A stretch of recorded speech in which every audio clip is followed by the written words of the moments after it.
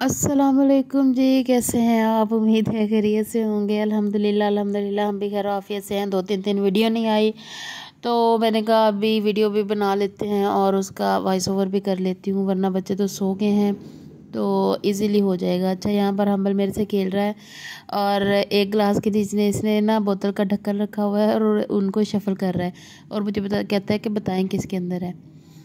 तो मैंने कहा कि इसके अंदर है तो कहता, आपको पता पता कैसे चलता है? तो मैं अब आपको बताती हूँ कि मुझे कैसे पता चलता है। जिस, जब ये ग्लास को शफल करते हैं ना तो जिसके अंदर नहीं ना होता ढक्कन, उसको उठा के दूसरी तरफ़ रखता है। और जिसके नीचे ढक्कन होता है ना, उसको घसीट के दूसरी तरफ़ करता है। तो सो मुझे पता चल जाता है कि इसको घसीटा है तो इसके अंदर ही है।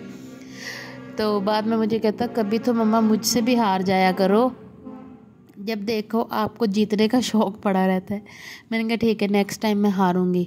और अब इस दफ़ा भी मैं फिर हार गई थी कि मैंने कहा था दरमियान वाले में और उसने परले साइड के में रखा था। अच्छा जी तो मेहमान आने हैं घर में और यहाँ पर आंटी को मैंने ना गाँव से बुलाया। बेसिकली मेरे पास कोई हाउस हेल्प नहीं है। मैं खुद ही अपने घर का काम करती हूँ जॉब भी करती हूँ, बच्चे भी संभालती हूँ।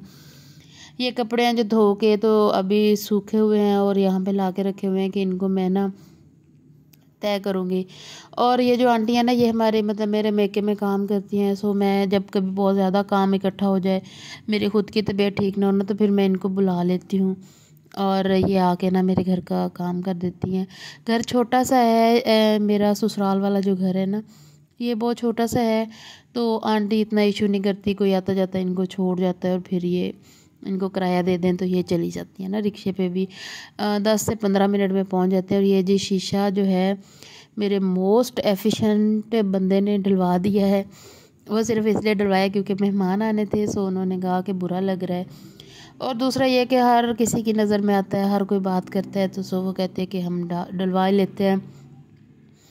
इतना महँगा आना नहीं है जितना अरसा इसको इंतज़ार करवाना है, सो ये आठ सौ रुपये का आया था। अच्छा जी, और यहाँ पर मैं खाना बना रही हूँ, मैं बना रही हूँ आलू और कीमा।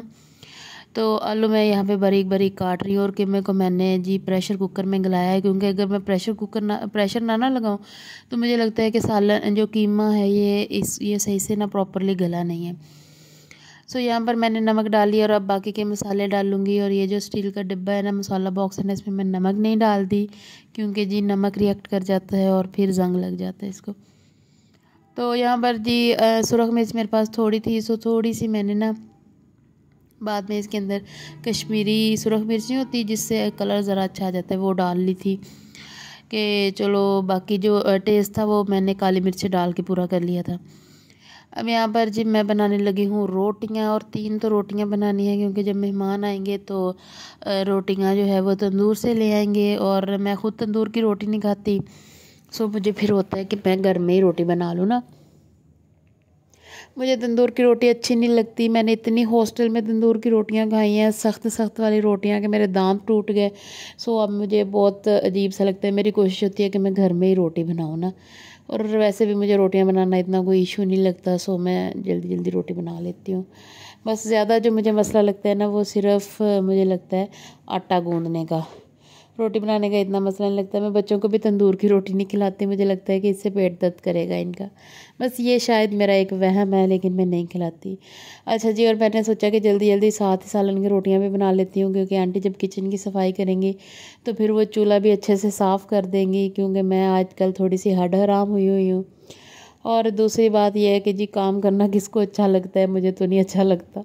किसी को लगता है तो मुझे कमेंट्स में आके ज़रूर बताएँ। मैं उस महान शख्स से मिलना चाहूँगी।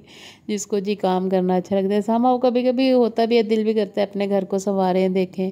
लेकिन जॉब करने के बाद, बच्चों को देखने बाद कभी कभी इतनी थकावट हो जाती है कि फिर मेरा बिल्कुल भी दिल नहीं करता कि मैं सफ़ाई भी करूँ। फिर मेरी कोशिश होती है कि आंटी आके सफ़ाई कर जाएँ।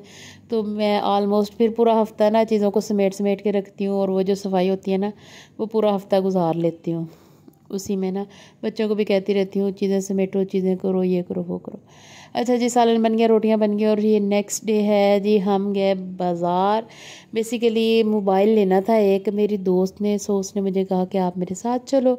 मैंने उसे कहा कि मुझे मोबाइलों का कोई इतना ख़ास शौक़ नहीं है। लेकिन कहती कि नहीं मतलब मुझे कोई इतनी इन्फॉर्मेशन नहीं है। लेकिन कहती कि नहीं, चलो हम बस पैसे देंगे, हमने, मैंने नेट से सिलेक्ट किया हुआ है तो मैं वही लेंगे और ये जी वाई सेवनटीन ख़रीदा है, ये छः एक सौ अठाई का था। और पूरी की पूरी तनख्वाह दे के ना बहन ने मोबाइल ले लिया। ये फोर्टी फाइव हंड्रेड थाउज़ेंड का है। उसके बाद मैंने अपनी भाभी के लिए सूट लेना था, उसको गिफ्ट करना है तो जी मैं यहाँ पर एम टी जे पे आ गई हूँ। और ये वाला ड्रेस मुझे अच्छा लगा, ये नेवी ब्लू कलर का था सो मैंने बहुत जल्दी जल्दी में बस इसी को सिलेक्ट कर लिया। मैंने कहा कि क्योंकि बच्चे मैंने घर उनके बाबा के पास छोड़े हुए हैं सो मुझे ये था कि सतान अब रहे हों। और ये सारे बड़े महँगे महँगे सूट थे, चार चार हज़ार, पाँच पाँच हज़ार, छः छः हज़ार खैर जो अमीर लोग होते हैं, उनको चाहिए भी इतने नहीं महँगे लगते, लेकिन मुझे अभी भी चार हज़ार का सूट बहुत महँगा लगता है। मैं कहती हूँ कि कोई चौबीस, पच्चीस सौ का हो, बस। इतना ही बहुत है। अच्छा जी ये वाला सूट भी मुझे अच्छा लग रहा था, लेकिन बहुत ज़्यादा इतना अच्छा नहीं लग रहा था कि मैं इसको ख़रीदने का सोचूँ ना। तो बस फिर मैंने वो ये जो ऊपर वाला है ना, ये वाला लिया था। और जी इसके बाद एक मैंने ईडन रोप से लिया था। सो उसके बाद हम आ गए थे जी ये इस फ़ूड पॉइंट पे। और ये मोबाइल यहाँ पर बैठ के तसली से चलाया इसमें व्हाट्सएप की सारा कुछ किया क्योंकि घर जाने तक का सब्र तो हम कर नहीं सकते थे।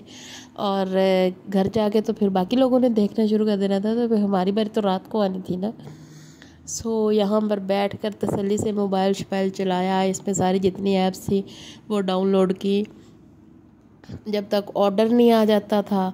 और ऑर्डर क्या किया था हमने? ऑर्डर किया था क्रंची पास्ता जो कि बहुत हैवी लग रहा था। बाद में सारा खाया भी नहीं गया था। एनी हाउ जी, आपसे रिक्वेस्ट है कि काइंडली मेरे चैनल को ज़रूर सब्सक्राइब कीजिएगा। मेरा थैंक यू जी, अल्लाह हाफिज़।